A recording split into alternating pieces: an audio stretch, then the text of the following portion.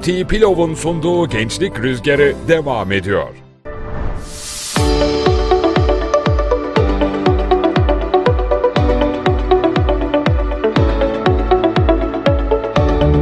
Doğru beslenebilmek, yiyecekleri iyi sindirebilmek için ağız ve diş sağlığımızın da önemli olduğunu artık biliyoruz. Çene eklemi kapanış bozuklukları nelere sebep olur? Nasıl tedavi edilir? Diş sıkma sebepleri nelerdir? Tedavi edilmezse ne olur? Seray soruyor, diş hekimi, protez uzmanı Doktor Melih Şengül bilgilendiriyor. Gençlik Rüzgarı nerede? Çok sevdiğim doktorum, diş hekimi, protez uzmanı, doktorumuz Melih Şengül'de. Merhabalar. Merhaba, çok güzelsiniz bugün yine. Ya ben öyle bir şey davrandınız. Hayır, siz çok hoşsunuz diyoruz vallahi. Ekranda iz- sizi izleyince insanların gözü gönlü açılıyor. Ve bugün yalnız da değilim. Çok Ee, güzel bir Sıla hanımefendi Hanım'layız. daha var bir yanınızda. Evet, Çok teşekkür ederim. Sağ olun. bilgilenmeye geldik. Evet. Gene sorunlarımız var. Ya bu konu iyi gitti, çok ilgi çekti. Ama yani en çok da benim ilgimi çekti söylemek zorundayım. Bence insanlar farkında değil. Ancak hani çok ağrı veya böyle hani travmatik bir yere geldiğinde size geliyorlar ama hepimizde bu diş kapanma ya da şuradaki sorunlar bence her insanda var gibi geliyor. Az çok var ancak kişinin bir yüklenme ve adaptasyon kabiliyeti var. Bu, bu adaptasyon kabiliyetinin üst, ötesine geçildiği zaman bir takım semptomlar yaşanmaya başlıyor. O semptomlara yönelik bir takım müdahalelerle konfor artırılabildiği gibi bunun başarılamadığı durumlarda oluyor. Yanlış müdahale çok daha kötüye daha kötüye gidebiliyor. Şimdi Sıla Hanım aslında bunu aynen birebir böyle Ne oldu yaşamış, Sıla Hanım? geç Sizin fark etmiş biz. probleminiz ne peki? Ee, ben dişlerimi sıkıyormuşum. Bunun farkında değilim uyku esnasında ama sabah diş parçaları ağzıma gelmesiyle Kırılmış e, dişler. aynen öyle sıkmaktan kırılıyorlar. E, ayrıyeten bu görselin haricinde de çok ciddi bir baş ağrısı. Yani diş kıracak kadar sıktıysanız Evet. olur. Evet. Peki bir de böyle bir tam yerine oturmuyor gibiydi, kayıyor gibiydi değil mi? Evet evet kayıyor ve kıtlamalar da vardı. Yani aslında çok Kıtlama yerden sinyal verdi. tık tık diye ses mi çıkıyor? Evet evet kıt yapıyor kayıyor. Yani hem görsel olarak kayma var hem dişlerin kırılması var hem de e, vücutta ciddi ağrılar oluyor. Şimdi bu neden oluyor? Bu şikayetlerle geldi size. Aynen öyle. Şimdi bu şikayetlerle geldiği zaman biz bir kontrol ediyoruz. Kap- nasıl kapanıyor çenesi? Yani kasları olabildiğince rahatlatarak biz ideal yerinde kapatmaya çalıştığımız zaman mesela böyle bir kapanış almışız kendisinden. Bakın bu tarafta hiç diş değmiyor. Evet. Yani eklemi doğru birazcık konumlandırarak kapattığımız zaman bir bakıyoruz ki bir yerde bir temas var. Başka yerler değmiyor. Şimdi Arası boşluk. Böyle tahterevalli gibi bir durum var. Dolayısıyla o öbür pozisyonda, dişlerin değdiği bir pozisyonda tutmak için kaslar devamlı sıkmak zorunda kalıyor. Ve kırılıyor da oradan Ve dişler. orada tutmak için sürekli kasılı kalıyor ve gıcırdatıyor hatta ve dişleri kırıyor. Çünkü bu korkunç bir güç. Zaten dişlerin ne kadar aşındığını görüyorsunuz. Bu e, aslında kaslardan bahsedecek olursak kaslarımız gündüzleri çalışır, geceleri dinlenir. E, bu diş sıkma, gıcırdatma problemlerinde geceleri de çalışmaya devam ettiği için bu sefer kaslar Dinlenemiyor. dinlenemiyor ve e, işte sirayet ediyor bütün her yere. Farklı farklı yerlerde ağrılar olabiliyor. Hat- Sizde de baş ağrısı, boyun ağrısı genel en yaygın olanı. Hatta şey diyebilir miyiz bu sıkma sebebiyle gündüzdeki çalışmasından daha fazla çalışıyor gece Evet, sıkarak. aynen. Çünkü Gündüz kontrolsüz. kontrol edebilir en Evet. azından sıktığı zaman. Gündüz oturup diş sıkmıyoruz mesela. Doğru. Şimdi, şimdi şuna vurgu yapmak istiyorum ben.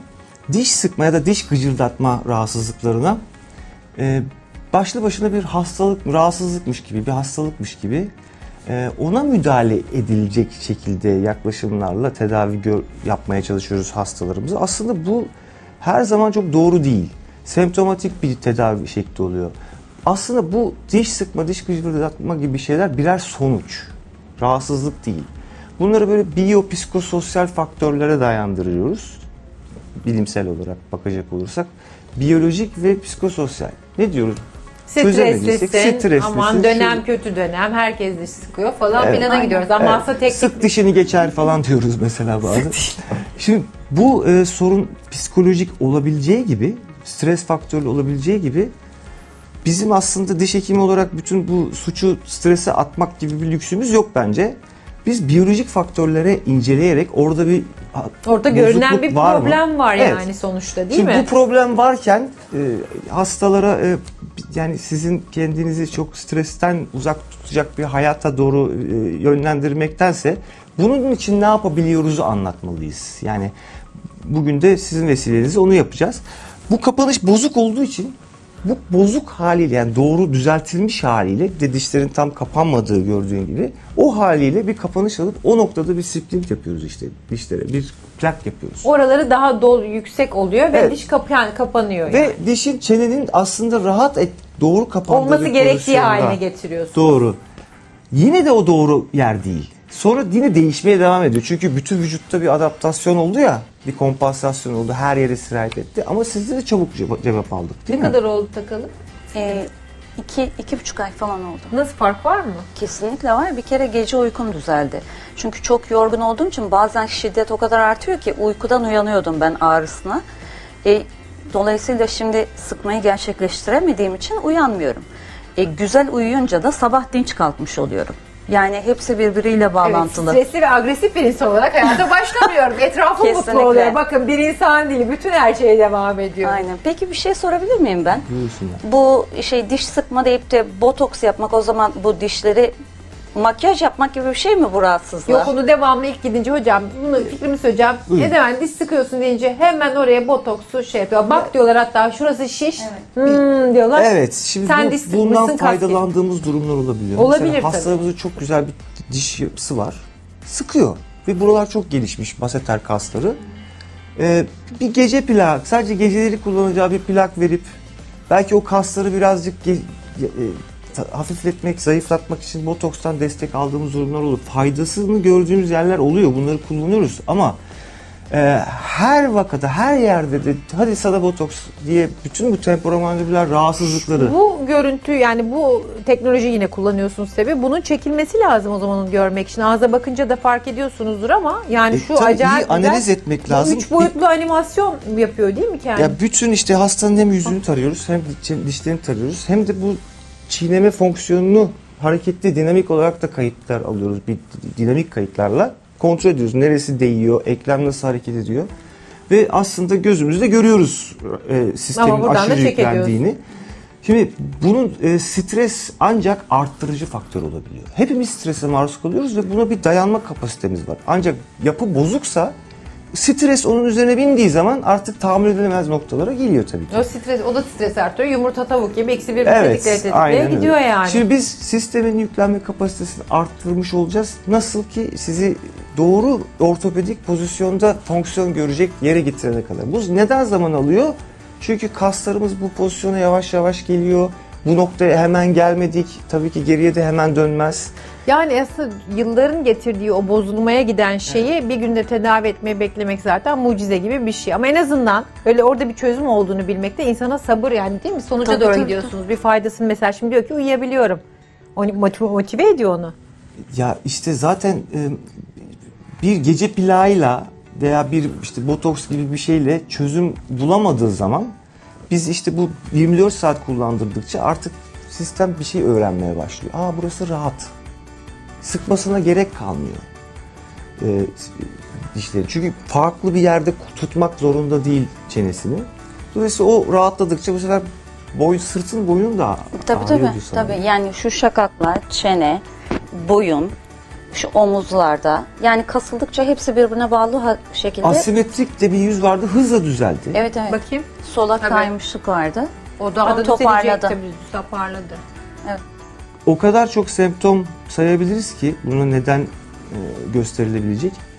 Bu semptomların hepsinin bundan kaynaklı olduğunu e, söylemek hata olur. Bunu bir kere daha vurgulayayım. Sadece temporomandibüler rahatsızlıklar bu kadar çok semptoma neden olabiliyor. Bu semptomların sebebi her zaman Bu temporomandibüler olmak zorunda değil ama şimdi hemen faydasını görmüş hocam görüyorsunuz. Neden tedavi alıyoruz kendisini? Bu aşınmaları görüyoruz.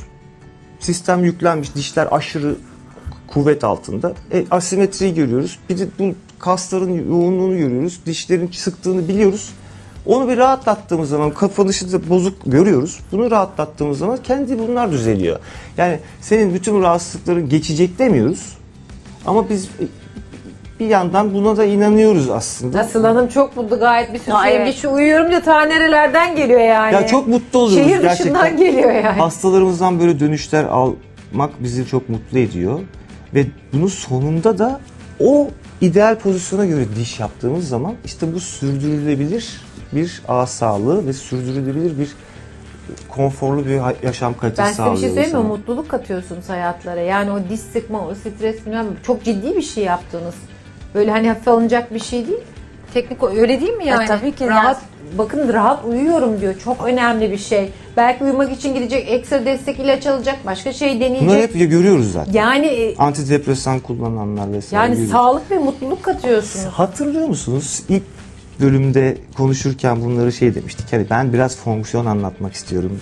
Yani estetik nedir? Biraz ona Aynen. bakalım ama bunun e, fonksiyonun ayrılmaz bir bütün olduğunu anlatmak istiyorum diye. Şimdi biz fonksiyonu Ve bir düzelttiğimiz örnekte zaman görmeye devam ediyoruz bu arada. e, değil mi? fonksiyonu düzelttiğimiz zaman ne oluyor biliyor musunuz? Şöyle düşünün. E, sağlıklı olan şey zaten iyi görünür. Karşı Çok tarafı güzel. iyi görünür. iyi bir görüntü verir zaten. Sağlıksız olan şeyi sadece görüntüsünü düzeltmeye çalışmak benim için doğru yol değil her zaman. Vallahi aynen. Ö- Fonksiyon çok bence Kesinlikle. zaten fonksiyon daha da önemli diyeceğim. Tabii ki. Vallahi çok teşekkür ediyoruz bize gelip kendinizi paylaştınız. İnşallah tedariniz harika devam etsin. Rica ederim. Melih Beyciğimle sizin de ağzınıza sağlık. Teşekkür ederim. Nerelerden geliyor hastamız? Evet? Tekirdağ. Uzaklardan. Evet, Tekirdağ'dan geliyorum. ya Ve Tekirdağ. çok uzun süren bir tedavi. Sürekli geliyor gidiyor. Evet evet. Her hafta Ama- geliyorum ama gidiyorum o ama ışığı gördüğü için geliyor yani. yani evet e, nerede bulursak şifamızı geleceğiz. Gençlik Rüzgarı'nda uzmanlarımızdan en doğru bilgilerle umarım sorularınızı cevapladık. Efendim önümüzdeki hafta görüşmek üzere. Hoşçakalın, mutlu kalın. Beauty Pillow'un sunduğu Gençlik Rüzgarı sona erdi.